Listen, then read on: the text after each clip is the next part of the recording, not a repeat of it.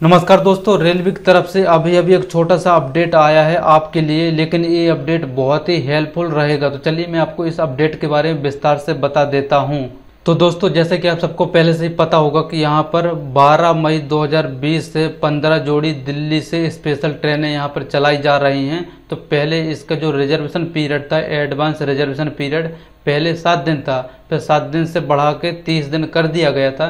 और उसी प्रकार से आपको यहाँ पर देखने को मिल जाएगा कि एक जून 2020 से यहाँ पर पैसेंजर ट्रेनें डेली की 200 सौ यहाँ पर एक छः दो से चलाई जाएँगी। तो उसकी जो रिजर्वेशन पीरियड था, वो भी 30 दिन था। लेकिन अभी अभी नया अपडेट आया है, इसको 30 दिन से बढ़ा के 120 दिन कर दिया गया है। तो चलिए मैं उसके बारे में थोड़ा सा आपको बता देता हूँ। तो इसका लिंक भी मैं आपको इसी वीडियो के डिस्क्रिप्शन में दे दूँगा तो आप डायरेक्ट वहाँ से आराम से पॉज करके पढ़ सकते हो। तो देख लीजिए, आपको यहाँ पर ऊपर ही मिल जाएगा कि 30 दिन से बढ़ाकर 120 दिन कर दिया गया है।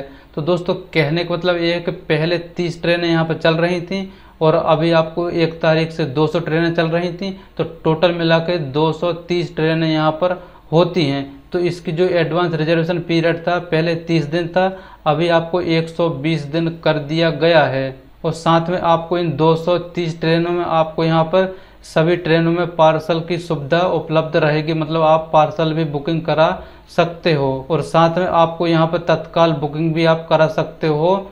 31 मई 2020 की सुबह 8 बजे से। तो कहने को मतलब दोस्तों ये है कि अगर आप 1 जून 2020 की कोई बुकिंग कराना चाहते हो तो आप 31 मई से आप इसकी जो तत्काल टिकट है, वो करा सकते हो अगर आप कहीं जाना चाहते हो तो। तो दोस्तों उम्मीद करता हूँ कि इस छोटे से अपडेट से आपको कुछ न कुछ ज़रूर सीखने को मिला होगा। चलिए मिलते हैं नेक्स्ट वीडियो में, तब तक के लिए बहुत बहुत धन्यवाद।